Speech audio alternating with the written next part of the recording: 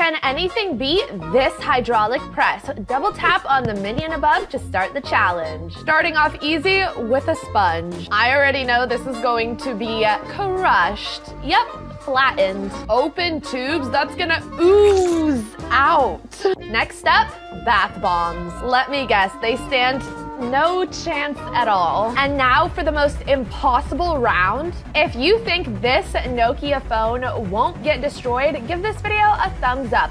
But if you think it's going to get destroyed, subscribe. And now for the truth, are Nokia phones actually invincible? Oop. no, they're not.